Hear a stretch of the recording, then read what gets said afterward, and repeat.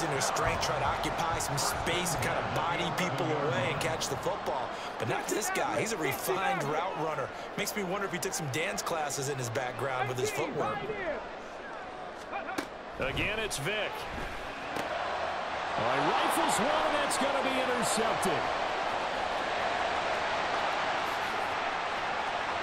Does the big boy have the juice?